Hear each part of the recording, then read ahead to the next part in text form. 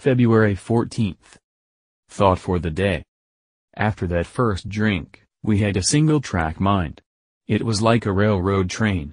The first drink started it off and it kept going on the single track until it got to the end of the line, drunkenness. We alcoholics knew this was the inevitable result when we took the first drink, but still we couldn't keep away from liquor. Our willpower was gone. We had become helpless and hopeless before the power of alcohol. It's not the second drink or the tenth drink that does the damage. It's the first drink. Will I ever take that first drink again? Meditation for the day. I must keep time apart with God every day. Gradually I will be transformed mentally and spiritually. It is not the praying so much as just being in God's presence. The strengthening and curative powers of this I cannot understand because such knowledge is beyond human understanding, but I can experience them. The poor, sick world would be cured if every day each soul waited before God for the inspiration to live aright.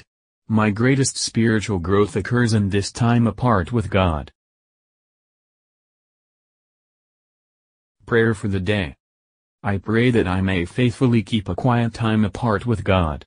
I pray that I may grow spiritually each day.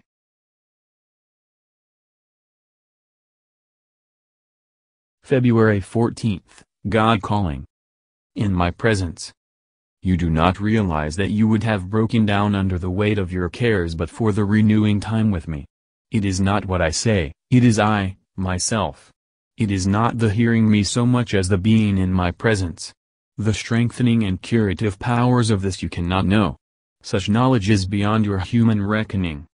This would cure the poor sick world, if every day, each soul, or group of souls, waited before me. Remember, that you must never fail to keep this time apart with me.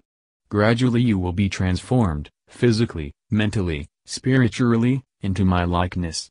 All who see you, or contact with you will be, by this intercourse with you, brought near to me, and gradually the influence will spread. You are making one spot of earth a holy place, and though you must work and spend yourself ceaselessly because that is for the present your appointed task, yet the greatest work either of you can do, and are doing, is done in this time apart with me. Are you understanding that? Do you know that every thought, every activity, every prayer, every longing of the day is gathered up and offered to me, now? Oh!